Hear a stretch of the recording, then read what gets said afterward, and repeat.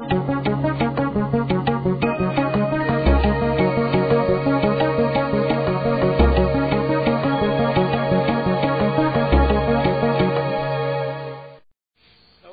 this uh, sermon is entitled Not in This Life. So, um, I don't know what you're thinking along that line, but this is, I hope, to be a very, very encouraging sermon to you all.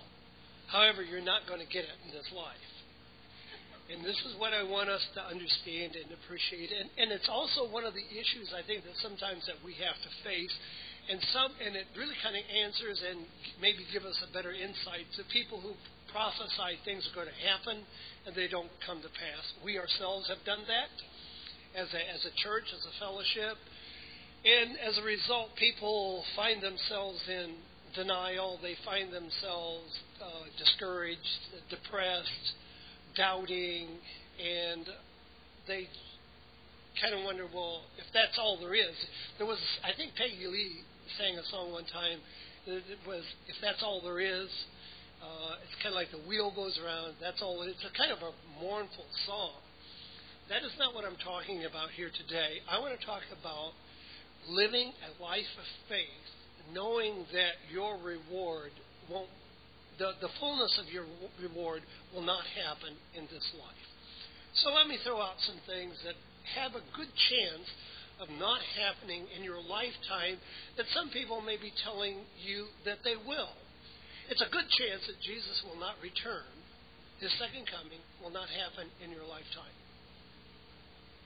It's a good chance that you'll not outlive your lifetime which is another way of saying there's a good chance you're going to die before you get life again. There is a, probably a good chance in this lifetime that you're not going to be rich and famous. Good chance. Good chance of that that it's not going to happen in your lifetime. Good chance in, in, in this lifetime that you're not going to get younger. Good chance on that. And, you know, the things are just going to go your way. Good chance of that. Or a whole lot smarter. In fact, as, as we grow older and we get more knowledge, the dumber we get, it appears. So there's a good chance that I'm not going to run a sub, you know, five minute mile, you know, somewhere in the 440s or 430s when I was younger. Good chance that's not going to happen.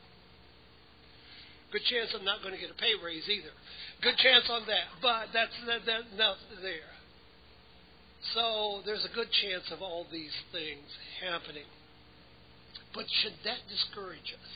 I cannot believe, and Jeanette brings up Welcome 2016. Well, come November of this year, start my 20th year. Good chance, you know, looking back on that, we would never thought that, that we would make it this far, as it were, and yet, and yet we have, and, and I feel like we're very, very blessed. What we need to understand, though, and appreciate is that we live a very, very blessed life. And we live a very, very blessed life in this life. However, it isn't without its ups and downs, its knocks and bruises. George was saying to me the other day, Well, I'm going in for surgery. And I think my words before I leave, it's been good. And if I don't come out of here, we'll see you later, as it were. Now, there's a good chance that George is going to come through all of this and he'll be back here sitting in services. But we never know. George will be back to persecute us in, in person and the like. There's a good chance. So when we look at these things, again, we can get really discouraged if we're not careful, and especially if we've made promises to people, like, like I say, that Christ is going to come. Uh, if you do this, God's going to bless you in the sense that you're going to monetarily be blessed. Oh, God's going to heal you.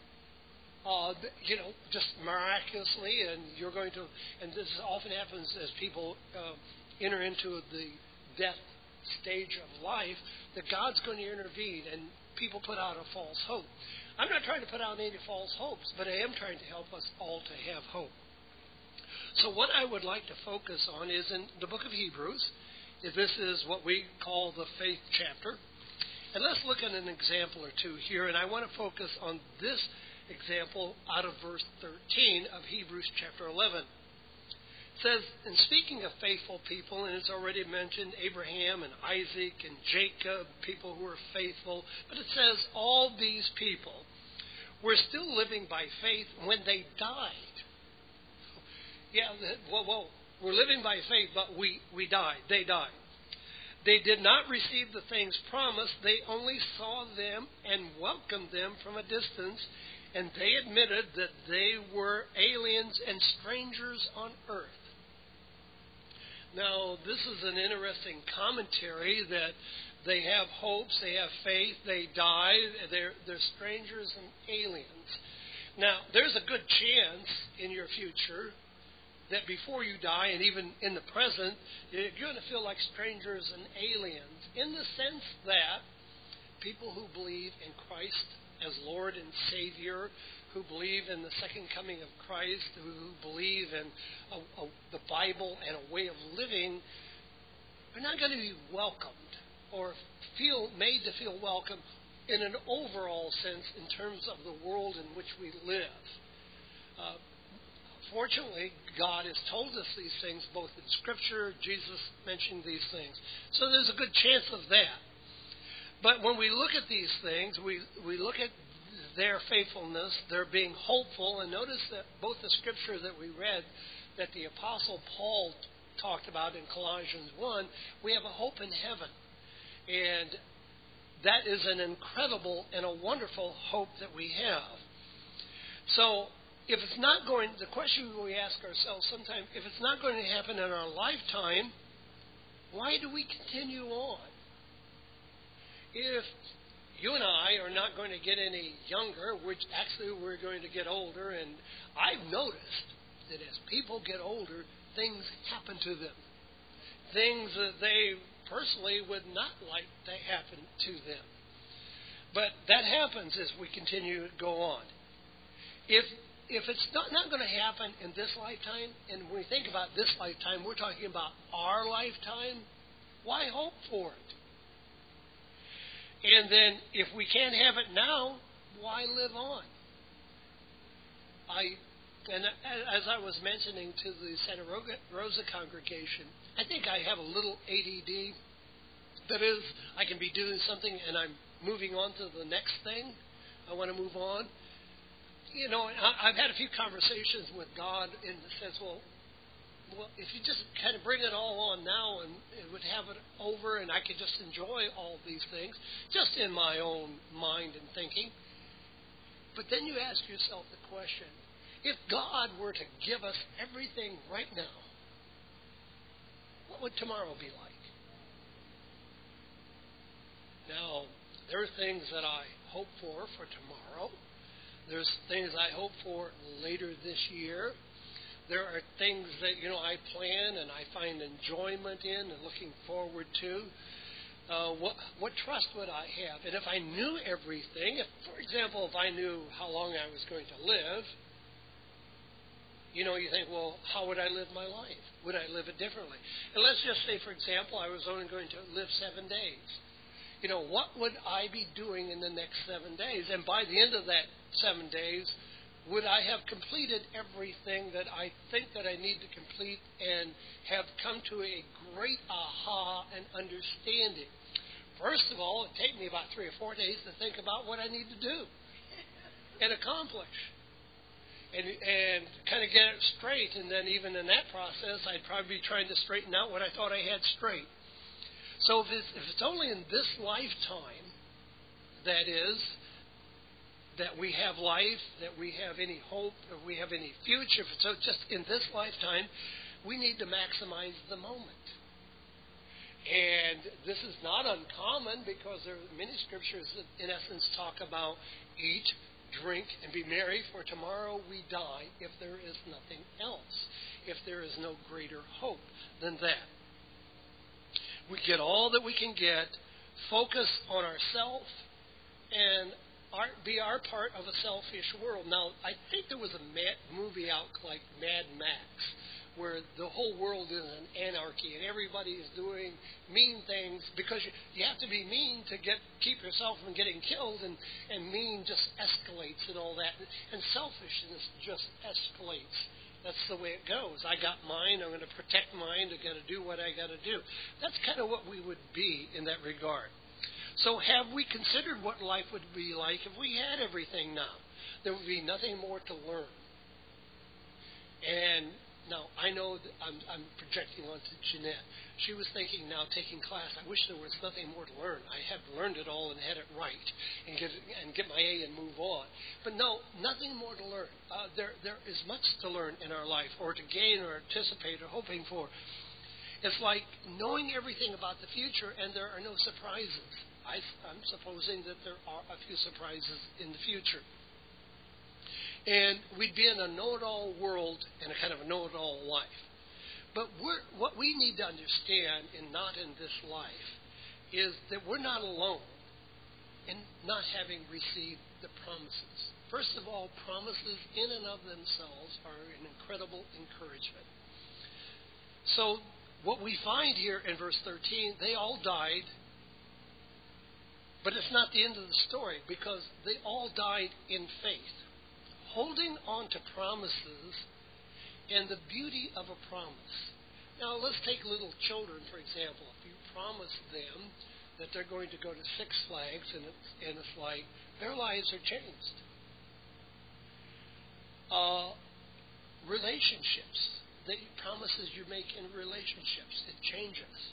But we have to think about the promises that God has made to us and the promise that He'll never leave us, He'll never forsake us. These are incredible promises and what He has for us. And then He, throw, he throws into this mix, this context and understanding. And the way the Apostle Paul puts it, eye has not seen nor ear heard the things that God has prepared for them that love Him. Now, whoa, there's there's the incredible promise and a lot of things in that in our relationship with God, which is a loving relationship that we have with God. And, and the more we get to know Him, the more loving that relationship becomes. These, although, seeing promises in a distance. So when you think about the promises that we see in the distance, that are actually present with us in the moment, but they're a bit unseen. We see promises of eternal life in the distance. It's hard for us, you and I, when we look in the mirror in the morning, to say to ourselves, as Jesus said, that if we believe on Him, we take of this bread, we drink of this wine, we have life, and life eternal. It's hard, we don't look very eternal in the moment. And it's hard to see how that we have eternal life. I don't see the Holy Spirit when I look in the mirror. And yet, the reality in this life is that God has given us His Spirit. God, the Holy Spirit, has come. He dwells in us. We think that we have joy and peace and comfort and guidance. And I like to reflect on when those moments when you're trying to remember something and it comes back to mind well, actually, that's one of the things that Scripture tells us that He will bring into remembrance, yeah, to remembrance.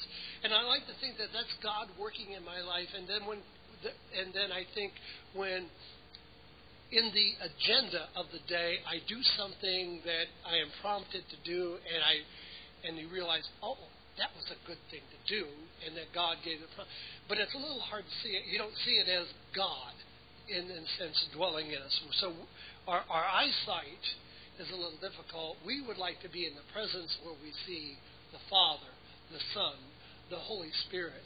And we not only see them, we rejoice. We, we'd like to be in the presence of angels who are singing incredible songs of praise to God and, and holiness.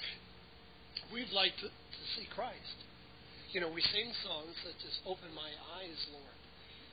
You know, I want to see Jesus. We, we want that. And yet, in this life, good chance you're not going to see Jesus. Not like John and Peter and James and Mary and Martha and Lazarus saw Jesus. So it's not going to happen in this life. So they all died in faith, but they were persuaded of the promises and they embraced them. They were central focus of their life. They embraced them. However, on the other end of the spectrum, though, they confessed this. This is verse 13. They confessed they were strangers and pilgrims on the earth. We all like to belong, and we like to be a part of community and society and family and, and feel like we belong, and yet the reality is, as Christians, oftentimes you'll feel like aliens and strangers, and your ideas are, you know, will appear a bit weird and odd when you believe in the things which we believe that we have life, we have salvation in Christ Jesus, our sins are forgiven of us. So, face a reality where our life is God centered. And then we recognize that these faithful, one of the things that didn't happen in their lifetime in Hebrews 11 is that these people who had such incredible faith had not seen Jesus. Oh, but they had heard about, they'd heard about, but not in the same way, until us a child is born. You see, these others didn't know about a Messiah. Now, we know about a Messiah, and some 2,000 years ago, we believe the Messiah walked on the face of the earth in plain sight, but invisible to the world. That, as it says in the book of John, in the beginning was the Word, the Word was with God, the Word was God.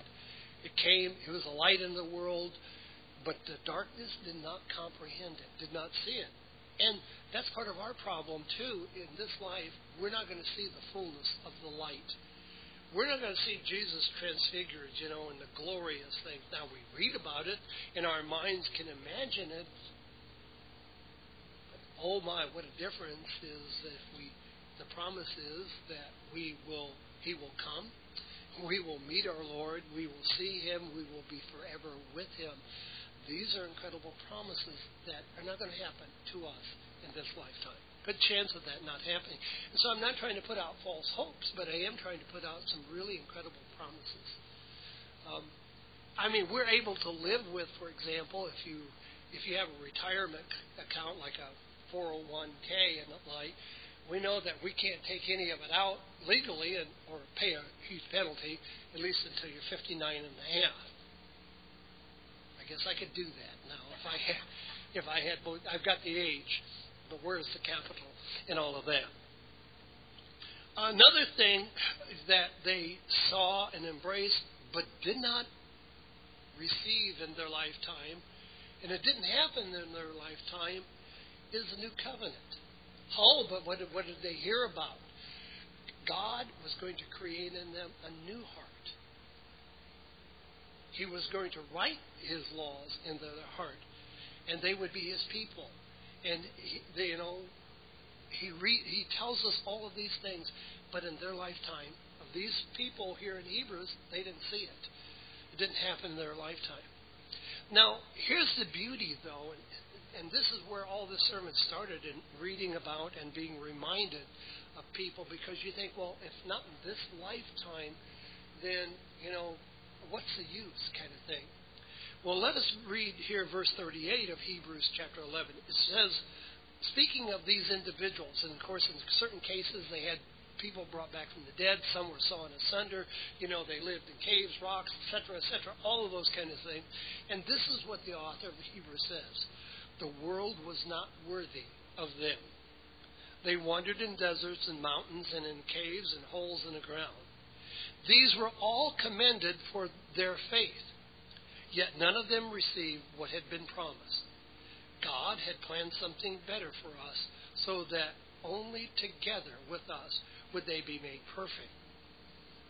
So we see here that even though it wasn't in their lifetime, that they obtained a good report of faith. And I'm going to suggest to all of us you know, we think about as we study, as we do things, and maybe an example of this would be like when you're in school, your report card doesn't come out until a certain six weeks or a semester or whatever. And then you get the good report. In the meantime, you keep working and you keep working, and then you see the, the report and you say, Yes, I got that A that I was working. But they all received a good report, but not the promises in their lifetime. Now, here again, I want to kind of give us a little maybe insight into the blessings. And it goes on to tell us that God had planned something better for us. Now you think, wait a minute, what is what's this thing that is better? And a faith to believe in some a better thing. Well, what he says here in essence, that they without us should not be made perfect. Now, to me, this is a better resurrection. So think of the resurrection in this way. What if God were to do a resurrection piecemeal? You die, buried, go to heaven as people, you know, think. You glorified, bodily glorified, and all of that, and then people are added and come along. That isn't what the resurrection suggests. Rather, the resurrection is suggested, and the Apostle Paul says this the trump shall sound, the dead in Christ shall rise, and you know the body shall be changed, the mortal shall put on immortality, death is swallowed up in victory. We give thanks to God. Think of it this way that all, all who come, uh, that in essence come to the wedding supper, it's all of them at one time that God is saying, no, you're not going to have your bodily change right now. But when Christ, I send my Son, the Lord Jesus Christ, and the resurrection occurs, you're going to do it all together time. So imagine a resurrection in which you see Abraham, Isaac, Jacob, Moses, David, Peter, James, John, Grandma, your children your grandchildren. It's like, oh my, it is a better resurrection. So I'm suggesting that the kind of resurrection that is talked about in the book of Corinthians doesn't happen until the return of Christ. However, we have an incredible hope that Jesus gives to us in the example that he gives us for with uh, John chapter 11 and the death of Lazarus. When he's talking to Mary and Martha and they're wondering about, well, we know that this is going to happen, and yet Jesus, in the moment that Lazarus is still dead, is saying, I am the resurrection. He that believes in me shall never die. Now, I believe that God is taking care of all of those. Our spirits are commended back to God, and uh, as and they have life because God gives us life. Lazarus was just as much as alive as he was dead, in fact, more so alive because God has the power of the resurrection. And this is the encouraging thing that we have a better resurrection, that we are glorified together, that we have eternal life, even though we don't. Now, we, we, we don't see it in ourselves as we grow older. And again, we're not going to get younger in this lifetime. Sometimes we can feel, well, that doesn't seem to be fair to us. But let me give you some examples here out of the book of Hebrews of people who, not in their lifetime, did it happen. So we read of Abraham, and we go here to verse 8 of Hebrews chapter 11. It says, By faith, Abraham, when called to go to a place that he would later receive an inheritance, obeyed and went even though he did not know where he was going. You know, not in this lifetime has a lot of not knowing what you're doing exactly, but you're going. By faith, he made his home in a promised land, like a stranger in a foreign country, and he lived in tents, as did Isaac and Jacob, who were heirs with him of the same promise. And then it tells us here for he was looking forward to a city with foundations and architecture. The builder was God. I don't find any examples in the Old Testament of ex- as we do in the New Testament and in Revelation in particular, where it talks about a new heaven, a new earth, a new Jerusalem, and describing the city. Now, I don't know whether Abraham was given that example, but I don't find that kind of encouragement and kind of understanding. But he looked forward to a, city whose builder and maker was God. This is the encouraging thing, and however, it didn't happen in his lifetime. We need to understand that. And I think as we, we look at looking back, and I, I left this part out of, of sermon so far, but I want to go back and touch on this. These people here in Hebrews 11 had not had never met the Messiah. They know unto us a child is born, a Messiah is coming, but they never met. You and I have met him in terms of Scripture, in terms of description, in terms of how he was and what he did. Oh, by the way, they did not encounter the New Covenant either. It didn't happen in their lifetime. So this has happened in many examples. Moses is an example of not happening in his lifetime. And you can think about, and, I, I, and it's encouraging to, to understand this, of how God took care of this. Moses, of course, worked for the Lord. We'll call it work for the Lord for 40 years in the wilderness. He, he did those things. He served God. He did what God told him to do. But we read in Deuteronomy chapter 34 and verses 4 and 5 this. Then the Lord said to him, This is the land I promised on oath to Abraham, Isaac, and Jacob when he said, I will give it to your descendants. I have let you see it with your eyes, but you will not cross over into it. Think, Lord, this isn't fair. This is a promise, but I'm not going to allow you to cross over into it. Does that mean eternally? No. But he wasn't physically able to go across the River Jordan and into the promised land. He saw it with his eyes, but he was not able to enjoy it in the way that he wished he could have enjoyed it. But notice what happens. And Moses, the servant of the Lord, died there in Moab, as the Lord had said. Verse 6 Then he buried him in Moab, in the valley opposite Beth Peor. But to this day, no one knows where his grave is. Now, who buried him? yeah, you think, well, whoa, this is this is quite. But Moses didn't enter into the promised land. It didn't happen in his lifetime. Now, and of course, the ultimate in terms of not happening in his physical lifetime is Jesus himself. Jesus, in his lifetime, in the period of time in which he walked on the face of the earth, was totally disrespected. He was minimized. He was criticized. He was accused and abused. And we even see that on, on the cross and in his dying, he says, My God, my God, why have you forsaken me? We see all of these things. But Jesus teaches us a very valuable lesson in this regard. Because here's what he teaches us in, in John chapter 12 in this regard. John chapter 12 and verse 47. And this is important for us to understand from several aspects. Here's what he says, verse 27 of John 12. Now my heart is troubled, and what shall I say?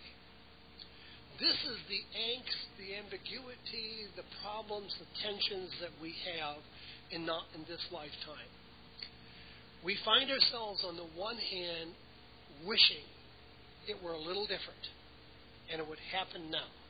For example, Jesus said, Father, if it's possible, remove this cup from me. But not my will be done, but your will done. And here's though what he says. So his heart is troubled. You know, there is there's discouragement. So when I say it's not happening in this lifetime, it's not that we're not discouraged discouraged at times. And it's not that we're not like other people, where we end up in the book of Revelation where it says, Come, Lord Jesus, come. Where we start in the book of Revelation where it says, How long, Lord? That they were longing for it. But we find here, he says, Father, save me from this hour. No, he says, for this very reason I came to this hour. Father, glorify your name here's the understanding that we have to have an appreciation for. that God has a plan and a purpose for each and every one of us. And as the song that was, several of the songs that we had today mentioned, again, that we are thankful, we are blessed where God has us and what God is doing with us. And we're very encouraged by all of that. And the, in that purpose, that what we're doing it is not in this lifetime, but think of some of the advantages that we have over people who lived before Jesus, people who lived in Jesus' day. What God has, on, on one hand, opened our eyes to see and to understand. You and I, for example, oh, we're not like Ezekiel and translated into the third heaven or, or Paul meeting, but you and I can look on our computers at Space Telescope look deep into the universe and see galaxies, and there are billions of galaxies. They saw a twinkle, twinkle, little star, and a star that led the wise men in the light. But they don't see what you and I see. We can take a microscope and look at the smallest things. You and I can go to the bottom of the ocean and see what it looks like at 36,000 feet, you know, of water. We see things. We experience things. We, you know, we experience sights and sounds and all kinds of things that they never did. More things to help us to appreciate our Creator God and how awesome and how wonderful as God continues to move us on through life. But probably not in our lifetime are we going to, in essence, meet Jesus personally. It's coming. It's in our future but probably not in our physical lifetime. But it is for this purpose and this time that God has brought us.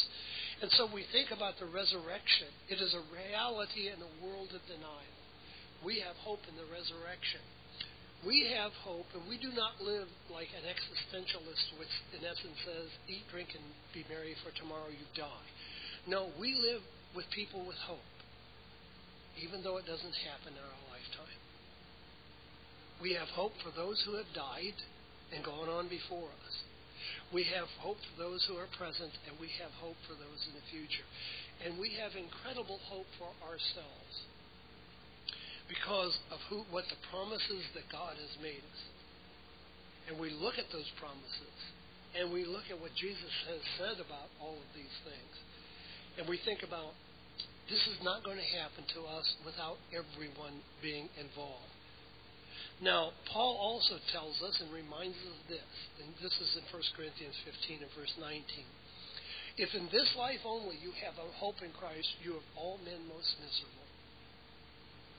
No, we have hope in Christ in this day. In this very day, we know that we are His, we are called, we are chosen, we are blessed, we are reconciled, we are redeemed, we are forgiven, we have an incredible, blessed life, but we look to the future. I tend to think when I uh, when I read 1 Corinthians 13, 13, and the Apostle Paul is kind of summarizing, as it were, what are the great things? Faith, hope, and love. Now, for, for all of us, brethren, I would suggest this. And this is the thing about not in this lifetime, I don't think there is any way at all. In, well, yeah, there is no way that we can experience or will experience the fullness of the love of God in this lifetime. But it's in our future. I don't think that we can experience the fullness of the grace of God in this lifetime. But we're growing in it, and we're growing in the grace and knowledge. I don't think there's a way in this lifetime that we can know the fullness of the joy. Oh my, the sense of peace that that that God would bring us, the ability to accept love and, and to be loved. I believe again it is I have not seen or heard the things that God has prepared. God is preparing incredible things for those that love Him. And uh, we won't experience a lot of that. We don't have the capacity but once changed, we will have a capacity for something that is so great, so awesome, and so wonderful. So the attitude that if it's not going to happen in my lifetime, and just give up, quit, and all of that, I think misses the point entirely. Or to tell people that it's going to happen in their lifetime, Christ is going to come, you know, you're going to get wealthy, all of these things, which are false promises. It's a false focus. There is one focus in our life that God has told us, and the Holy Spirit is working in all of our lives. That focus is on our Lord and Savior Jesus. Because it is through Jesus that we get to know the Father. And the Father helps us to know Jesus. It is through this, and that is the whole purpose of the Holy Spirit working in our life. To focus us on Christ, who focuses on the Father, and the hope that we have. We have an incredible future. It goes well beyond 2016. It goes into eternal life. We have incredible hope. But don't get discouraged if it's not going to happen in this lifetime because it is going to happen, and it's going to be far greater than you and I have ever, ever imagined or could imagine. Because God's going to have to kick up our brains a bit to really appreciate and imagine. Could you imagine, the, even as on the physical scale right now, if the fullness of our brain, now, what do scientists say? We may use 3 to 10% of the capacity of our brain. But imagine for a moment if the fullness of our mind meant the fullness of the Spirit of God. What a transformation it would be. What a transformation. What an exhilaration. I don't think it's going to happen in this lifetime. But I do honestly do believe it is going to happen. And, and the love of God will be experienced and expressed. And also believe that it, eternity has this element of faith. It will also have an element of hope. And that God is full of surprises. But all surprises of God are good surprises, not whimsical, evil, or whatever, incredible, wonderful surprises. So don't be surprised if it doesn't happen this lifetime. But hope in Christ in this day and hope in the future because God has given us incredible hope. So the way Jesus put it again, do not let your hearts be troubled. I know you believe in God, believe also in me. I go and I prepare a place for you. That where I am, you're going to be also. We have hope in this life and in the world to come. And we give God thanks in Jesus' name. Join me in prayer. Father in heaven, thank you so very much for your blessings. Thank you for everyone here. Truly, Father, help us to have the hope, the joy, and the faith in this life, Father, as we look forward to, as Abraham did and as Moses did, moving into the promised land to the fulfillment of your promises to your glory and praise. We ask all of these things in Jesus' name. Amen. Feeling the blues today or tired of life already? Do you have questions about life or need spiritual advice? The Worldwide Church of God is located in Fairfield, Santa Rosa, and Modesto, California. We welcome everyone to attend our worship services with us every week at the times listed on your screen.